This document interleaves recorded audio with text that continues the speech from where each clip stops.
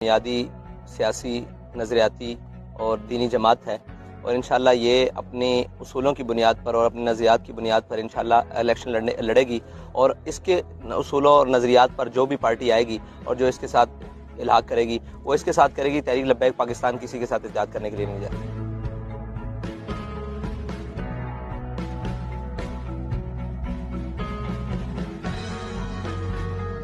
हम अपने वतन के साथ हैं। और इस वतन के पत्ते से लेकर ऊपर पार्लियामेंट पर जो कलमा लिखा हुआ है, उसके साथ हैं। ठीक है जी, उसके ऊपर जो भी झंडा लगा है, उसके साथ हैं। हम अपने इदारों के साथ हैं, लेकिन मसला ये है कि उनकी आइनी और कानूनी जो भी एक हदूद है, उनके साथ हैं। अगर वो किसी भी चीज़ से तजावज़ करते हैं तो हम उसके साथ नहीं हैं।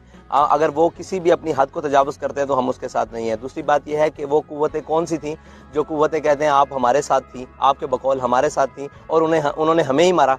हमें गोलियाँ आपको मालूम है, ये कोई मीडिया वाला जबान पर लाने के लिए तैयार नहीं कि हमारे चवालीस शहदा हैं इस नामों से रिसालत की तहरीक में। चवालीस शहदा, तकरीबन निसफ सेंचुरी बनती है और ज़ख्मी और मजरूब तो अलहदा हैं, जिनकी आँखें ज़ाया हुई, टांगें ज़ाया हुई और ज़ख्मी हैं, अभी तक अस्पतालों में हैं या उनके इलाज चल रहे हैं। तो ये किसी के साथ, ना हमारे साथ कोई है, ना हम किसी के साथ हैं। हम अपने नज़रिए के साथ हैं, कल भी थे, आज भी हैं और इन शाला के आमद तक कायम रहेंगे।